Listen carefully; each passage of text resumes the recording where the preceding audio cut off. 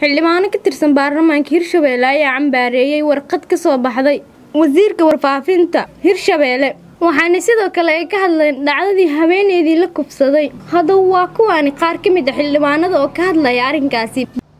Dembiilayaasha dhabta ah waa inaad soo bandhigtaan oo aad meediya keentaan caddaymo keentaan.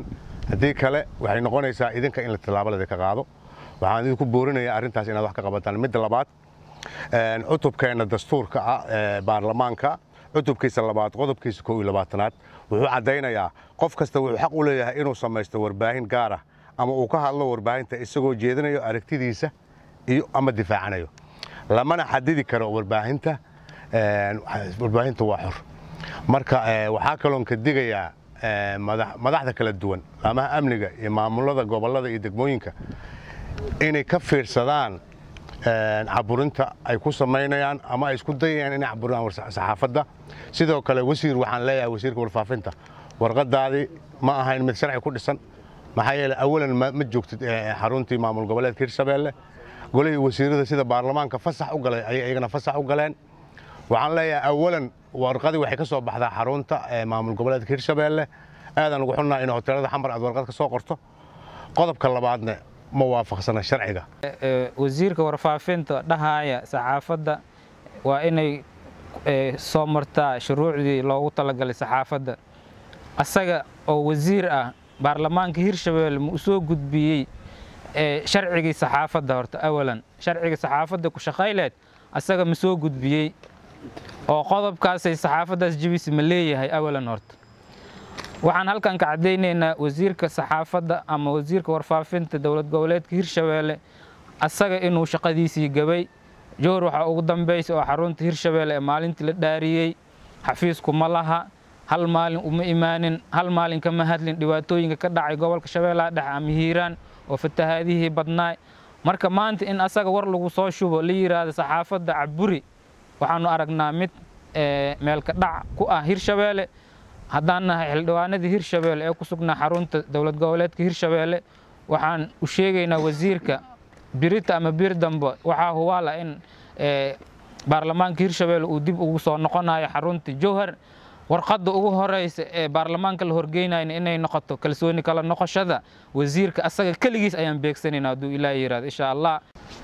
Mudane wasiir waxaad ogaataa waxaa horta maxaad aad ku tahay wasiir waa dastuurka dowlad gobolka hirshabeelle waxaa ku soo barbooskaada keenay xildhibaanaa keenay.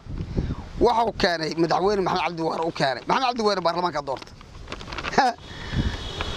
waxaad ogaataa marka haddii baarlamaanku aad faraha la gashay yani dadka ay matalayeen waxaad ogaataa inaan maxamed cabdi waare ku daafici karin ogow. Asaga ugu sareeyey hirshabeelle ugu shareey xukuumadda inuusan ku daafici karin uusan baarlamaanka kaa daafici karin ogow. Inaan cid ka sokayda ku daafici karin ogow. Waxaa kula xisaabtami doona insha allahu tacaala baarlamaanka.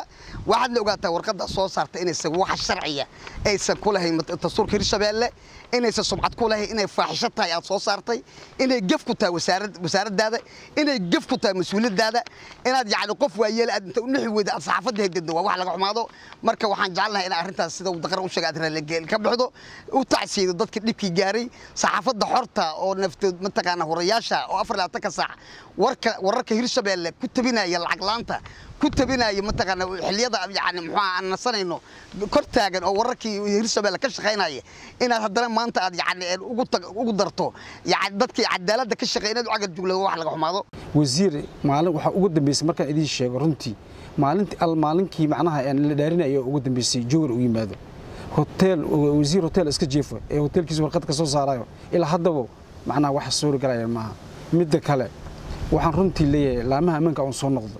Laamaha ammaanka ogooda inaan macnaha aan ila xisaabtamayno inaan macnaha saacad walba saacad waxaad ku qabatiin oo dhan hooshiin aan la soconno haddeed afartan isdeed saacadood in ka badan aad haysataan dadka masaakiinta ah ee macnaha la soo eedeeyey ninkii dembigaas galay waa la yaqaanaa ha la soo qabto. Waxaan diidanahay in la afqabto saxaafadda waxaan diidanahay in shacabkii annagoona hoos jooga lagu kortunto oo haddana la afduuba la yidhahdo lagama hadli karo. Waa arrin aad u foolxun ma qaadan karno. Baarlamaanku wuxuu macnaha ka shiray maanta arrintaas foosha xun. Wuxuuna kulley u taallaa markuu furmo fasaxa dhammaado in laga qaado tallaabo ku habboon cidda ku shaqo lahayd caburinta la caburinaayo saxaafadaha waa laga fiican yahay. Maxay ninkan saxaafad waa xur waaye? Wuxuu sheegayaa waxyaabaha fiican. Wuxuu sheegayaa waxyaabaha xun. Ileen waa laba shay uu arkay macnaha. Oo xaqiiqa u arkay. Marka waa inuu sheegaa waaba loo baahan yahay. Anaga maxaa yeele maadaama ka baarlamaan ahaan aan nahay waxaan matelnaa shacabka matelnaa shacabka haddii xumaan lagu sameeyana waa ka soo horjeesanayna walaalyaal ma yeelayno shacabkii in xumaan lagu sameeyo haweeney sagaashan jir ah in yacni fal xun lagu sameeyo. Arrimahaas aad aan ugu soo jeednaa ka baarlamaan ahaan ayaan aad ugu soo jeednaa. Ma aha in uu ka soo maamulo xamar. Waxaan ku sugannahay anaga ee gobolka shabeellaha dhexe jowhar. Wasiirka wasaaradda warfaafinta waxaan leenahay si degdeg horta ku soo gal ee gobolka. Baxsan ibraahim cabdi baxsan bilan tv dowladda koonfur galbeed soomaaliya magaalada jowhar